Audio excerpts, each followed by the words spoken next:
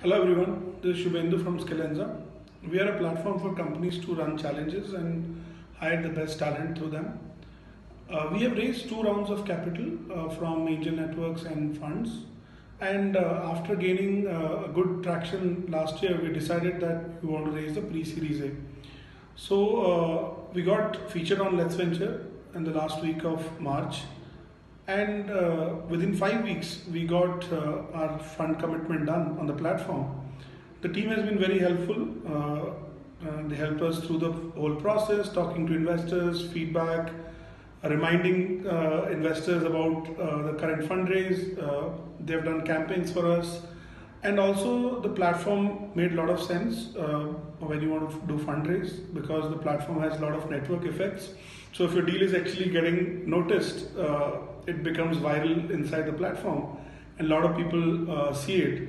So I would suggest if you guys are looking to raise a seed or pre-series A, uh, LetsVenture is the go-to platform for you guys. Thank you.